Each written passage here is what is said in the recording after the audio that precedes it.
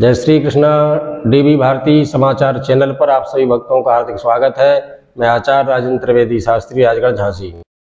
आइए तो सबसे पहले चर्चा करते हैं मेष राशि की। मेष राशि वालों को आपको आज के दिन कोई गुड लक शुभ सूचना प्राप्त हो सकती है। किंतु आप वाहन से सतर्क और सचेत रहने की बहुत आवश्यकता है। आप मूँगा रत्न धारण करें, हनुमान जी की आराधना करें जो कि आपको आज के लिए श्रेष्ठ और उत्तम कारक रहेगी। दूसरी राशि है वृख। वृख राशि वालों को आपको आज के दिन आपके शत्रु परास्त होंगे, मित्रों से सहयोग प्राप्त हो सकता है एवं आप कोई तीर्थ क्षेत्र में जा सकते हो। तीसरी राशि है मिथुन। मिथुन राशि वालों को आपको आज के दिन किसी व्यापार के सिलसिले में अपने ज़िले से, अपने देश से प्रदेश से अन्यत्र जाने का योग बन रहा है, एवं आपको स्वास्थ्य संबंधी कोई समस्या भी हो सकती है। चौथी राशि है, कर्क कर्क राशि वालों को आपको मानसिक तनाव बेचैनी, स्वास्थ्य आपका आज खराब हो सकता है, इसलिए आप मोती रत्न धारण करें और भगवान शिव और चंद्रमा की आराधना करना आपके लिए श्रेष्ठ और उत्तम है।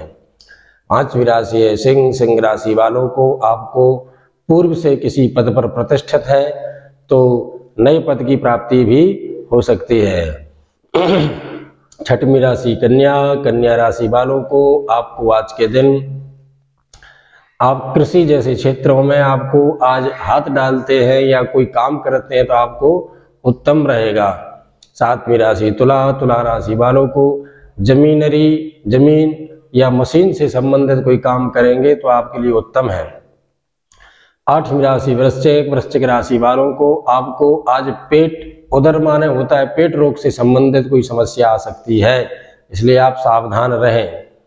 नवम राशि धनु धनु राशि वालों को आपको आज के दिन बच्चे के भविष्य को लेकर, स्वास्थ्य को लेकर कोई चिंता हो सकती है।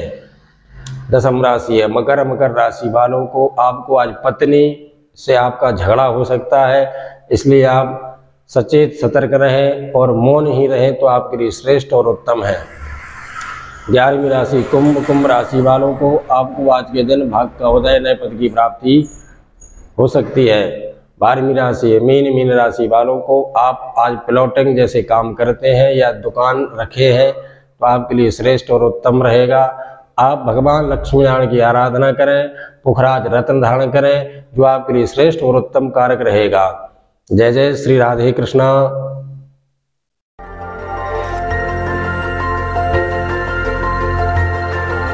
देखते रहिए डीबी भारती समाचार नज़र हर खबर पर।